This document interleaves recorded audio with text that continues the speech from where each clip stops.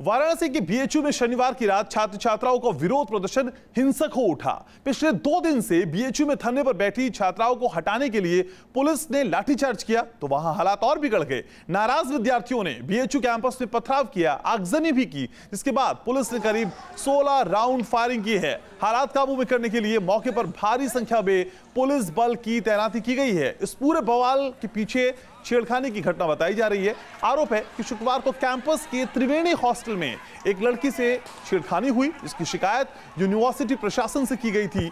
छात्राओं का आरोप है कि प्रशासन ने आरोपियों के खिलाफ कोई एक्शन नहीं लिया और इसी मांग को लेकर छात्राएँ यहाँ प्रोटेस्ट कर रही हैं।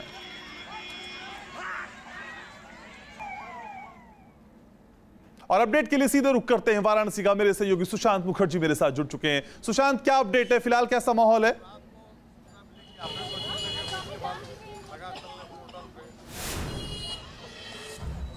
देखिए फ़िलहाल इस समय बात की जाए विश्वविद्यालय परिसर की तो आप देख सकते हैं पूरे विश्वविद्यालय परिसर को छावनी में तब्दील कर दिया गया है। इस वक्त हम खड़े हैं महिला महाविद्यालय के बाहर जहाँ पर कि कल लड़कियों पर लाठीचार्ज किया गया था। और यहाँ आप देख सकते हैं यहाँ पर महिला फोर्स पूरी तरह से तैनात है और जो लड़कियाँ हैं छुट्टी हो गई है अब विश्वविद्यालय में तीन तारीख तक इसलिए लड़कियाँ भी अपने हॉस्टल छोड़ के लगातार अपने घर का रुख कर रही हैं।